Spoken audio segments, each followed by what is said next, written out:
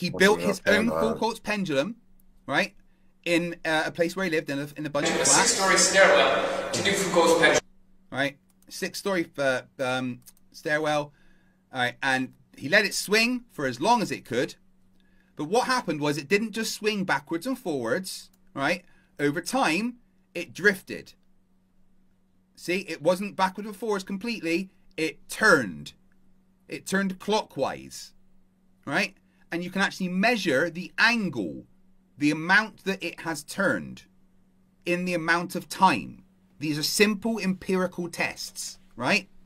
You measure the angle, you see how long it took, and you do some calculations. And you compare that to the model of Earth, of a rotating globe, and what you should get.